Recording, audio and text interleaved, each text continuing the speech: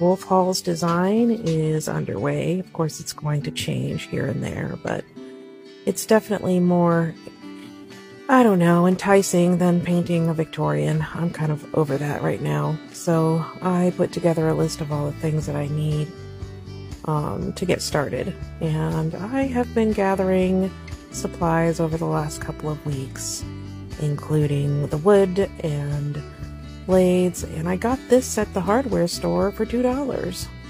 So I got my pin nails, I've got my palette knives, and the wood board I definitely have. I just showed that.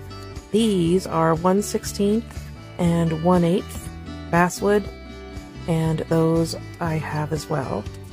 Um, I have poster board, got all those. I'm going to make foam core walls this time.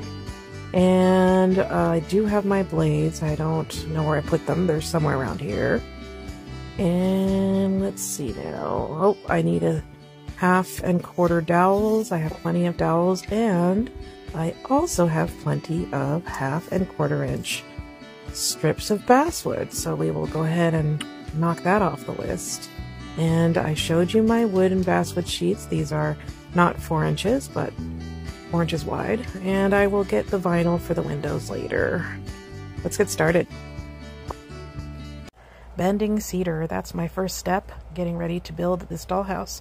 I'm going to be using some natural wood elements, so I grabbed some pieces of wood and shaped them, and now they're set aside to dry. The local hardware store gave me this Luan, so I am going to saw it into three pieces and laminate them together. It needs a lot of glue. I gotta glue the shit out of it because it's already delaminating on its own. They used it as a floorboard. You can see blueprints. And I am going to just put these little uneven layers together. And because they are so warped and messed up, I'm going to use wood screws to pull the sheets together. And I don't really care if it's not pretty or if it's not perfect because none of this is going to show. I'm going to sand down the edges and smooth it out and then cover most of it anyway. But it is the foundation I need to get started on this dollhouse. And now I can start thinking about building the walls and all such things. So this is step one, and we're off. So Wolfe Hall's foundation needs the boot marks of the patriarchy sanded off, and that is done. I smoothed it up.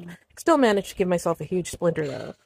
And here are some little hardwood legs that I got as a yard sale find. Um, the homeowner, former homeowner, had been a hobbyist, and he had a bunch of wood pieces from turning and doing all sorts of different things. So I got them for a huge deal. Um, but yeah, anybody can just, uh, you know, get a solid piece of plywood or a solid piece of wood and cut their own foundation and have it be fancy, and you can just stain it and smooth it and make it beautiful, even route the edges, whatever you want to do. But this ugly thing that I made, this piece of shit, is not going to show anyway.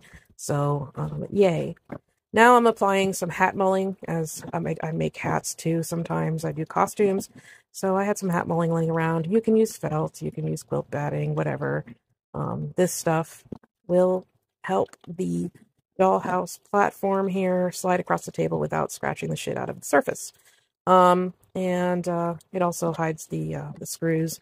I can't screw them too tightly because those blocks are brittle and they kept breaking even pre-drilled.